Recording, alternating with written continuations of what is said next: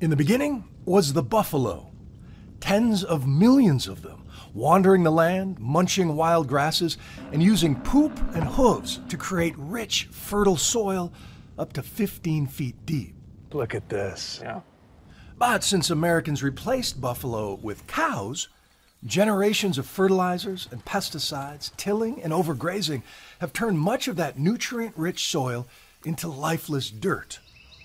But not on farms where they graze cows just like wild buffalo. Well, so adaptive multi-paddock grazing, AMP grazing, is a way that mimics the way bison have moved across the Great Plains. And so it's really about the animals hit an area really hard and then they leave it for a long time. Peter Byck is a professor at Arizona State University, and he believes that if enough beef and dairy operations copy this simple hack, cattle could actually become an ally in the fight against climate change. I anticipate we'll get a lot of pushback because people are not thinking that cows can be a part of the solution. Not only are you going against the grain of environmentalists who think meat is evil Yeah. for, for lots of reasons. Yeah. You took money from McDonald's for this. Yeah, I asked for money from McDonald's for this.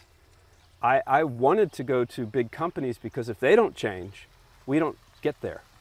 For his docu-series Root So Deep You Can See the Devil Down There, Byck assembled a team of scientists, We're really interested in insects that live in poop.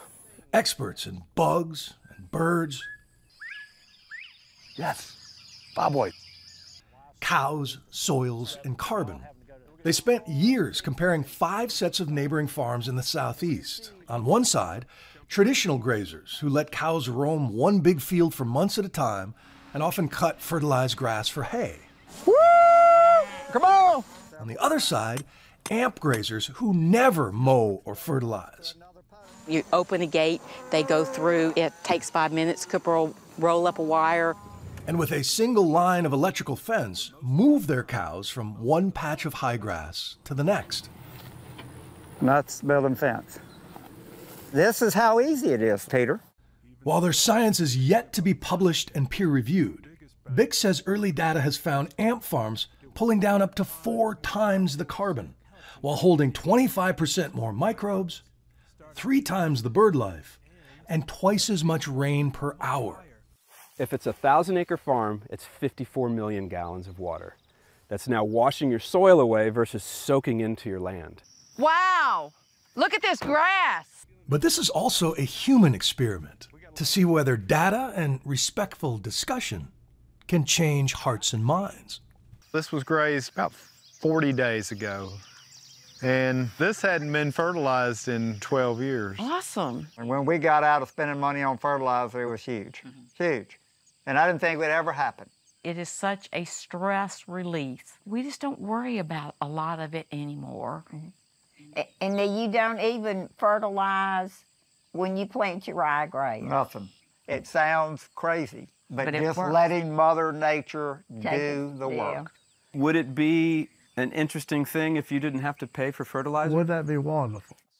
Curtis Spangler is one of the conventional farmers in Roots So Deep, and he says his mind was changed when he realized he now has a way to double his herd and quit his second off farm job.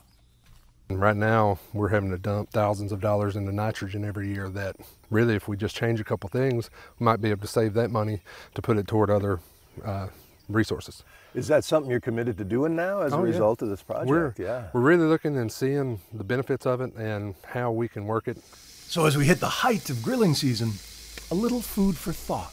There is ways to produce meat that is not good for the planet. And there's ways to produce meat that's really good for the planet. And that's the nuance that's been missing.